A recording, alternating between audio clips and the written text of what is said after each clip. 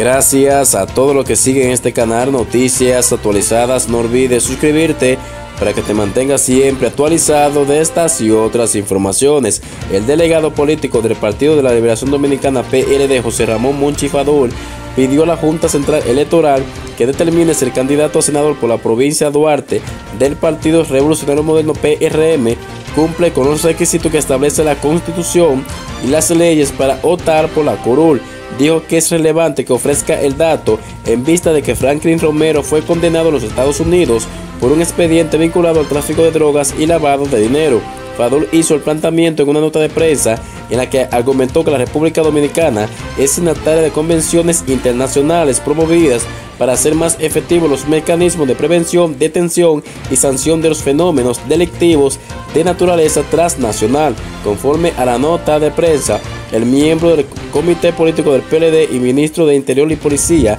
emplazó al candidato presidencial del Partido Revolucionario Moderno PRM, Luis Abinadel, y la cúpula gerencial a explicarle en detalles a la sociedad dominicana la vinculación de miembros y candidatos de esa organización política en actividades de narcotráfico internacional. Indicó que el PRM debe abandonar la fallida estrategia de pretender sacar el tema de la opinión pública y por honor y respeto al pueblo dominicano explicar por qué el narcotráfico ha premiado las estructuras de esa entidad política, que se deje de distraer la atención de la población dominicana con temas